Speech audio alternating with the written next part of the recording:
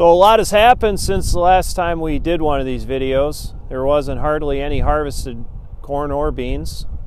Today, uh, 30th of October, uh, there's hardly any corn left and a lot of tillage going on. And today, we're going to focus on anhydrous.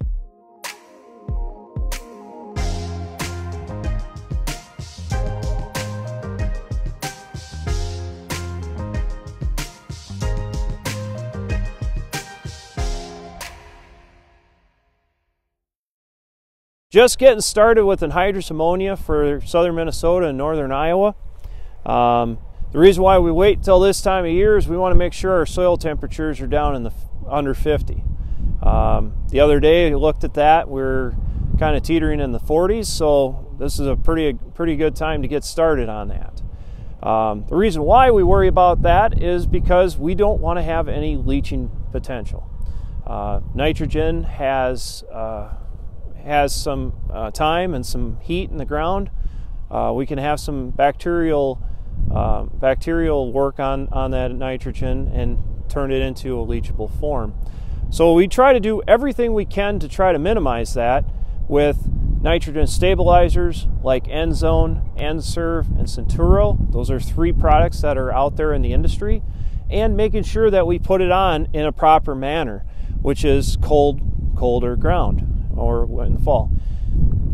Depending on if you're on the Minnesota side or the Iowa side, will also depend on how, how and when we can put in on. In 2020, uh, we have uh, some part of our area that we cover that will not be allowed to put anhydrous ammonia in the fall.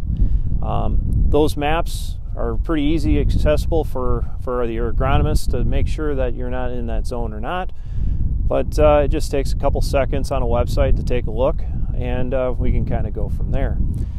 Uh, but one of the reasons why we want to make sure that we do a good job of this is because we got to make sure this is good incorporated. So you can kind of see down here, this is a few days after we had some snow around here. The ground is fairly wet.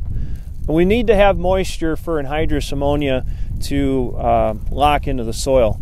Um, what happens is that hits the water and then ties to the uh, ties to the soil. We can't have it too dry, otherwise, it could possibly just go back into the atmosphere. If it's too wet, these fields won't smear. But you can see out in the distance, our machine's going on this uh, field here, uh, going around the outside of it. Um, the rig has uh, some coulters to make sure it's making a nice cut for our discs or for our, for our uh, knives. We got uh, injection knives that go into the ground six, five to six inches. And we also have some closing discs behind it to make sure that we have that slit or that furrow that that knife uh, puts in the ground covered up nicely. Um, and usually, and like I said, anhydrous has um, been used for a long time uh, for our area because it's it's economical, it's uh, very flexible, um, and and fairly cost effective. So this time of the year is a great time to get anhydrous ammonia applied. If you got any questions or anything, or if you need any help with uh, custom application, we have a bar that is out there and getting product applied as we speak. Otherwise, if there's anything else, give us one of us a call and we'll help you out. Have a great day.